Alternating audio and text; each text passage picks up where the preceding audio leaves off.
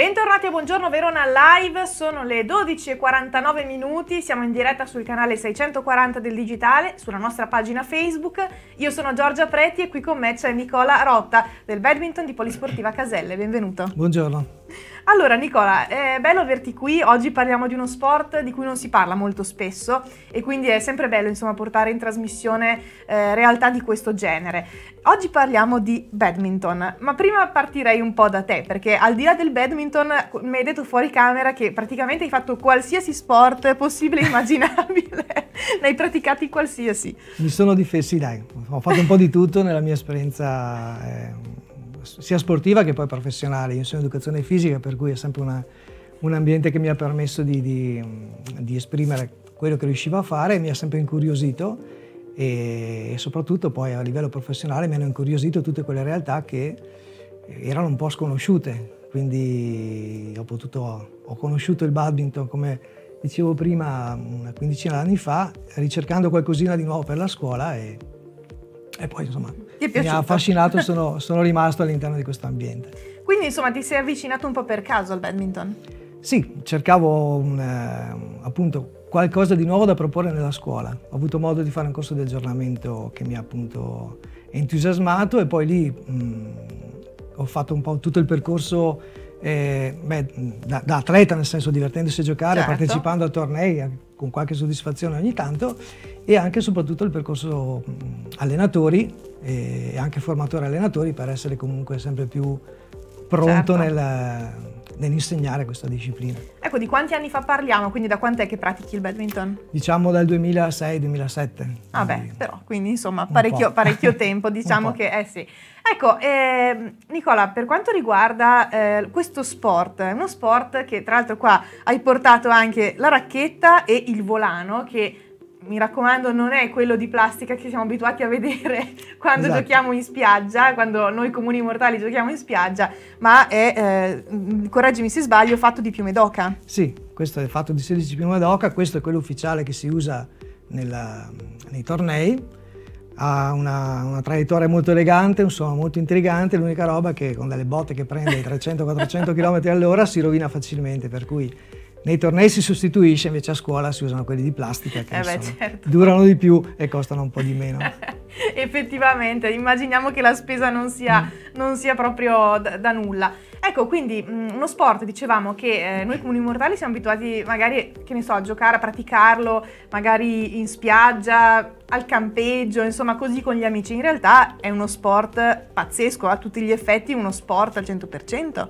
Sì, direi che esatto, l'idea che abbiamo soprattutto in Italia del badminton è quella del volano, cioè il gioco esatto. che in esatto. spiaggia si cerca di, eh, di, fare mantenendo in aria questo, questo, volano. In realtà il badminton si gioca all'interno con una rete alta un metro, un metro e mezzo circa e eh, la bellezza di questo, di questo sport è che è molto inclusivo, nel senso che si gioca eh, sia maschietti che maschietti, femminucce, in misto, eh, con le persone con disabilità, chiaramente con qualche accorgimento, e, ehm, ed è veramente tosto da un punto di vista atletico, perché sono 20-30 minuti di partita in cui salti, scatti, eh, un lavoro anaerobico abbastanza intenso, sì, direi che... Eh sì, adesso qua stiamo da vedendo... questo punto di vista a, alto livello, chiaramente certo. a basso livello diventa meno, meno di impatto e facilmente fruibile da tanti, da tutti. Ecco, vediamo anche un, il campo che chiaramente ricorda un po' quello del tennis, esatto. però molto, un po' più piccolo, ecco, sì. diciamo.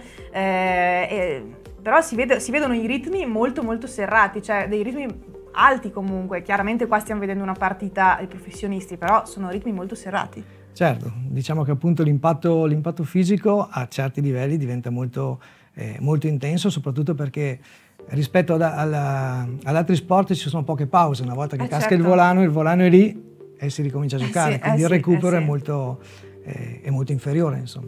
Eh, però è uno sport molto molto interessante che sicuramente immagino piaccia molto anche ai tuoi studenti. Ma sicuramente sì, direi che è sempre una proposta allentante e chiaramente è una parte del lavoro che facciamo a scuola, certo, però certo. evidentemente, la, come dicevo prima, la possibilità di far conoscere a scuola cose e eh, diciamo, sistemi di, di, di, di, muoversi, di mettersi in gioco nuovi è sempre affascinante.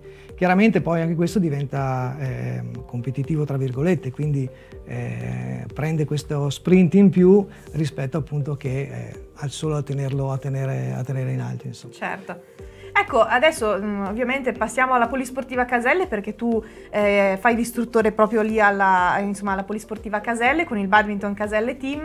Ecco, come sta andando questo, questo anno? Come è andato anche quello passato? Chiaramente sappiamo con, con la pandemia eh, che ha fatto disastri in tutti i settori. Sì, eh, noi beh già i nostri numeri sono numeri da tra virgolette, eh, sport minore, che è un bruttissimo termine, ma non è altro sì. solo che attività meno conosciute, certo. minori sicuramente da un punto di vista di, di qualità.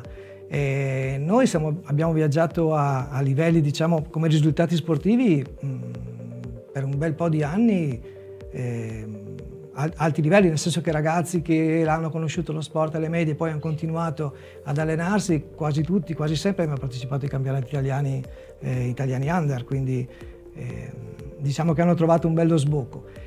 Purtroppo è, com- è combinata il discorso pandemico, quindi con la chiusura certo. delle nostre attività, col fatto che molti ragazzi arrivati a una, cer- una certa età, che so, chi va a lavorare, chi va all'università, si sono spostati e abbiamo avuto e stiamo avendo un pochino un po' di, di buco, tra virgolette, generazionale nella, nella, partecipazione. Adesso abbiamo una decina di ragazzi e a Caselle c'è anche un gruppetto di, di adulti eh, che si divertono a mettersi in gioco ancora, eh, ecco, però i numeri attualmente stiamo, stiamo, ripartendo, diciamo che la ripartenza anche per noi da questo punto di vista. E beh, questo è l'importante alla fine, perché l'importante è ripartire, poi insomma i numeri poi arriveranno, certo. arriveranno col tempo e ecco, anche è uno sport quindi che si può iniziare anche a giocare magari in un'età adulta, quindi senza tanti problemi. Assolutamente sì, ha...